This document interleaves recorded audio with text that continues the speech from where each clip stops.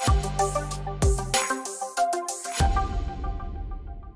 A través de una columna en el portal internacional de Washington Post, el periodista y escritor peruano Diego Salazar reveló cómo el supuesto especialista en criptoanálisis, Arturo Arriagán, llegó al set de Cuarto Poder el pasado domingo 20 de junio para que sea entrevistado y se desplaye hablando sobre el supuesto fraude ocurrido en la segunda vuelta de las elecciones 2021. Como se recuerda, dicha entrevista realizada por Mavila Huertas y Mario Ghibellini al marino en retiro recibió diversas críticas por parte de periodistas, políticos y usuarios en las redes sociales y la propia exconductora del programa dominical tuvo que salir al frente a realizar una autocrítica luego de que no se encontrara evidencia de fraude durante el balotaje.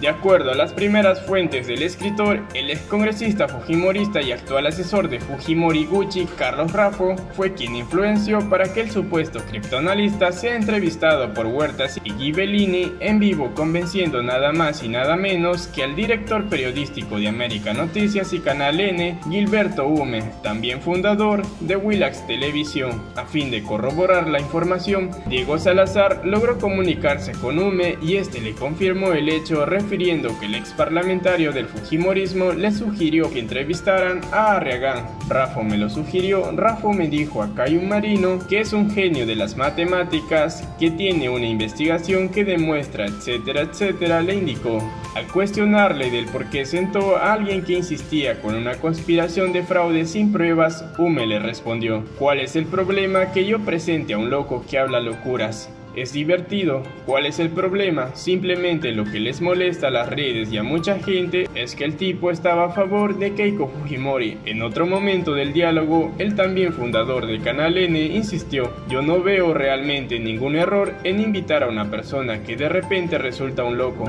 porque la televisión también es un show. La televisión, aparte de lo periodístico, también tiene parte de show escribió Salazar, si el responsable de los dos principales canales informativos, uno de los periodistas más experimentados del país, no ve el problema de colocar en prime time a un teórico de la conspiración que le fue sugerido por el asesor de una candidata que lleva tres semanas denunciando un fraude que ni ella ni sus aliados pueden probar, ¿cómo podemos hacer ahora los peruanos para confiar en nuestros medios? ¿Qué podemos esperar si no son capaces siquiera de enfrentar y dejar de amplificar las mentiras de una candidata perdedora y su desfile de conspiracionistas? ¿Y tú qué opinas de la columna del escritor y periodista peruano Diego Salazar, quien revelaría que el ex congresista y actual asesor de Fujimori Carlos Raffo, quien influenció para que el criptoanalista Arturo Arriaga sea entrevistado en Cuarto Poder, Déjamelo saber aquí en la caja de los comentarios. Si eres nuevo en este canal, no te olvides darle like, suscribirte y activar la campanita de notificaciones para mantenerte actualizado con noticias nacionales. Hasta la próxima.